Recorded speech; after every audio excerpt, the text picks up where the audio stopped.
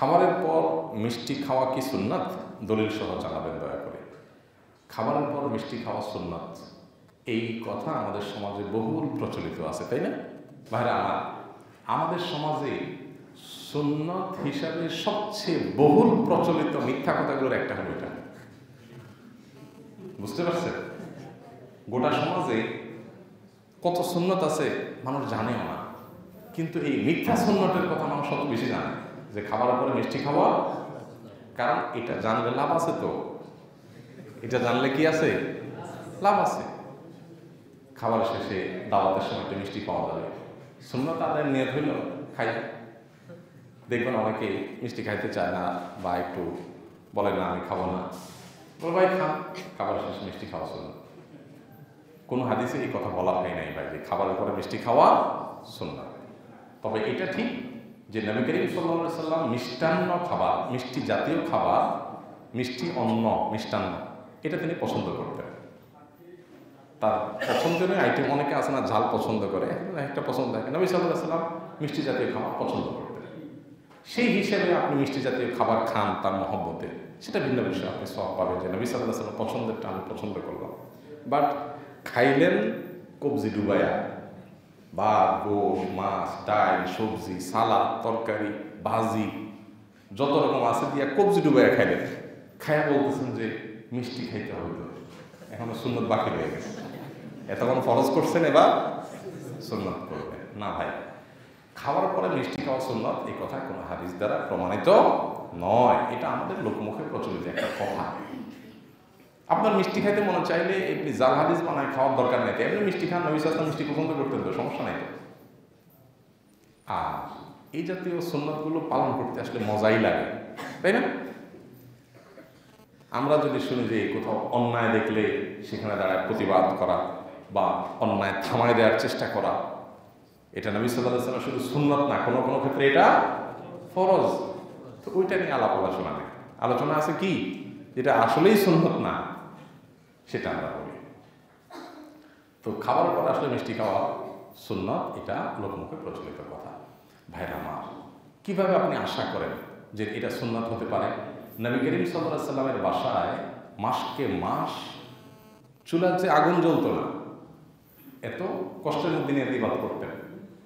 দিনকে দিন চলে যেত, হাদিসে আসছে তার বাসায় শুধু খেজুর আর পানি ছাড়া কিচ্ছু ছিল খেজুর আর পানি ছাড়া আমাদের মতো এত বিলাসী ছিলেন তিনি, এটা চিন্তা করেন কীভাবে? যে সাত পথ দিয়ে খায়া, এরপরে আঙ্গুল চাইটে মাইটে খায়া বলতেছেন, মিষ্টি কি আছে ব্যয় নিয়ে আসেন সুন্দরটা আদায় করি। ওনার বাসায় তো, নবী সাল্লাহ সাল্লামের বাসায় তো হাদিসের বর্ণনা অনুযায়ী দুইটা কালো খাবার, অর্থাৎ পানি এবং খেজুর, এটা ছাড়া ছিল না, এরকম দিনকে দিন পার হয়ে যেত। তাহলে তিনি খাইয়া আবার আলাদা করে মিষ্টি খাইছেন, এটা চিন্তা করেন কেন? তাহলে ভাইরা আমার মিষ্টি খাইতে মনে চাইলে খান, কিন্তু নবী সাল্লাহ সাল্লামের নামে মিথ্যা কথা বলে খায় দোয়ার মাধ্যমে যদি ভাগ্য পরিবর্তন হয়ে থাকে, তাহলে প্রশ্ন হচ্ছে, বান্দা যে দোয়া করবে এবং এর ফলে তার ভাগ্য পরিবর্তিত হবে, এটাও কি পূর্ব থেকে ভাগ্যে নির্ধারিত নয়? বা ভাগ্যের লিখন নয়? হ্যাঁ ডেফিনেটলি অবশ্যই এটা আগে থেকে ভাগ্যের নির্ধারণ। আপনার জন্য সেটা নতুন, কিন্তু আল্লাহর কাছে নতুন বলতে কিচ্ছু নাই। আল্লাহ সুমাতার কাছে সব কিছুই আগে থেকেই নির্ধারণ করা।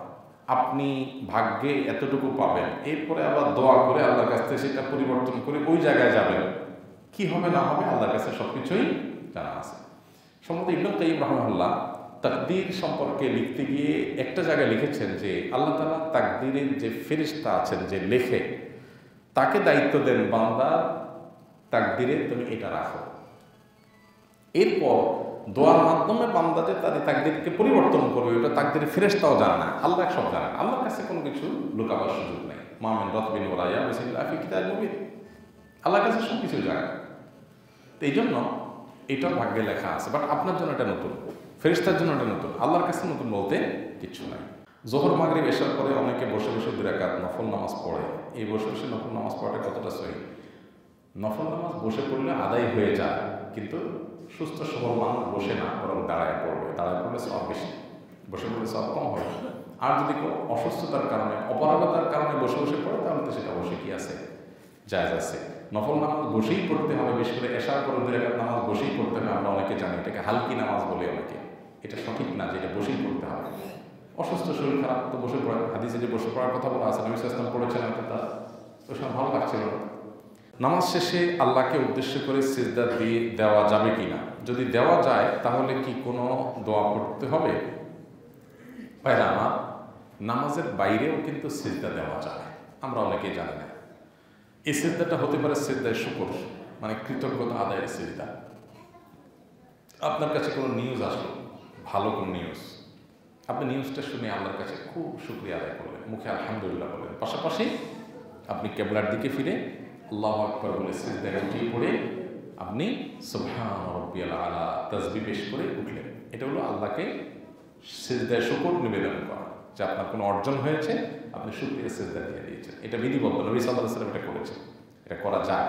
আমরা অনেকে এটাতে পরিচিত না বা এটার সাথে অভ্যস্ত না। সিজদা শুকর খুব ভালো জিনিস, এটা করা যেতে পারে। বাকি এটার জন্য আলাদা কোনো দোয়া নেই যে সেজদা গিয়ে আলাদা কোনো দোয়া আছে। আপনি সেজদা গিয়ে আল্লাহ তাজবি পেশ করবেন, ব্যাস, করে আপনি উঠে যাবেন। চার রাকাত বিশিষ্ট ফরজ সালাতে, জামাতে সালাত আদায়ের সময় চতুর্থ রাকাতে দাঁড়ানোর পর ভুলে সুরা ফাতেহা না পড়ে তাশাহুদের প্রায় অর্ধেক পড়ে ফেলি মনে পড়ার সঙ্গে সঙ্গে সুরা ফাতেহা পড়ি এবং ইমামের সঙ্গেই সালাম ফিরাই। এক্ষেত্রে কি আমার পুনরায় সেই সালাত আদায় করতে হবে? উত্তর হলো না। এবং এর জন্য আপনার সেজদা সহ দিতে হবে না। আপনি সুরে ফাতেহা পড়ার জায়গায় আত্মীয়তে পড়ে ফেলছেন। এটা হলো ভুল। অবশ্যই এই ভুলের কারণে সেজদা সহ দিতে হবে যদি আপনি একাকী নামাজ আদায়কারী হন কিন্তু যদি জামাতে নামাজ পড়েন, তাহলে ইমাম সাহেবের পেছনে মুক্তাদির আলাদা কোনো সেজদা সাহ ওয়াজিব হওয়ার মতো কাজ দেখা দিলেও সেজদা সাহ দিতে হয় না। যেহেতু ইমামের অনুকরণ করতে হয়। দেখেন ইসলামের আনুগত্য এত গুরুত্বপূর্ণ যে সেজদা সাহ ওয়াজিব হয়েছে, ওইটা দিতে গেলে ইমামের আনুগত্য থাকে না। তো ওইটা বাদ, আনুগত্য আপনাকে করতে হবে। আজকাল তো কোনো আনুগত্য নাই, কোনো মানামানি নেই। সবাই সবে সবাই সোশ্যাল মিডিয়ায় ঘুরলেন ওস্তাদের বিরুদ্ধে ছাত্র এর বিরুদ্ধে, সে সবাই সবার বিরুদ্ধে বলে। লাগাম দেওয়া, আমি কতটুকু বলতে পারি বলা উচিত? সেই বাস বিচার নাই, বিশেষ করে আনুগত্য নাই।